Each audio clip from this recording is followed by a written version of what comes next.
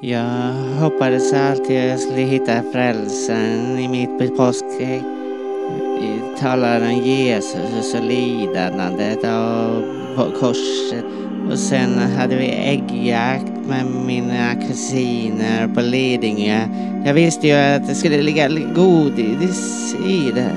Men någonstans hoppades jag ändå att det skulle finnas ett frälsare i det.